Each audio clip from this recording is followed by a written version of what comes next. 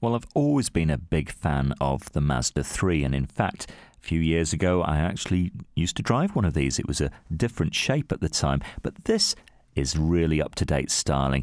It comes from 2011. It's a 1.6 DTS, now 115 brake horse. Uh, you're going to enjoy driving this car. It's pretty quick off the mark, and yet you get sensible running costs.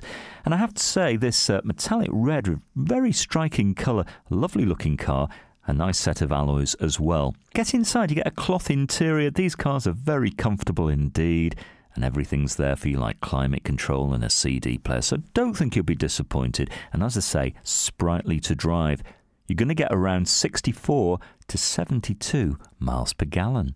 Well, with so many great cars at FOW right now, in fact, over 1,300, there's plenty to choose from. Maybe this is the one for you. Come and have a test drive with no obligation. Ring and reserve at Fords of Winsford.